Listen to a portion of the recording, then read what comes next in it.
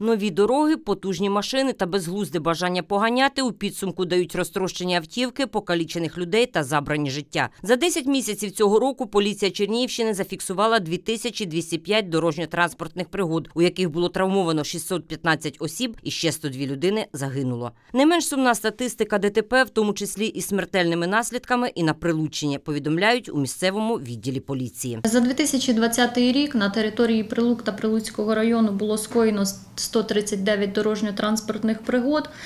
Е, В них загинуло 6 осіб, е, травмовано 65 осіб.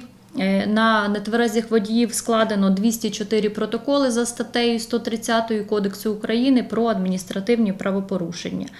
Порівняно з минулим роком аварійність на дорогах знизилася на 3%, проте збільшилися ДТП з- потерпілими з порівнянні з минулим роком на 11%. Цілому ж по області в 2020 році сталося на 183 аварії більше, ніж у 2019-му, і в них загинуло на 24 людини більше. Основними причинами дорожньо-транспортних пригод, як і в попередні роки, залишаються перевищення безпечної швидкості, порушення правил маневрування та проїзду перехресть, недотримання дистанції і керування у стані сп'яніння. З огляду на це поліція закликає громадян дотримуватися правил дорожнього руху. Не сідайте за кермо в стані алкогольного сп'яніння, адже ви наражаєте на небезпеку як себе, так і оточуючих. Поліція також звертається до пішоходів, особливо в сільській місцевості, у темний час доби на дорогах.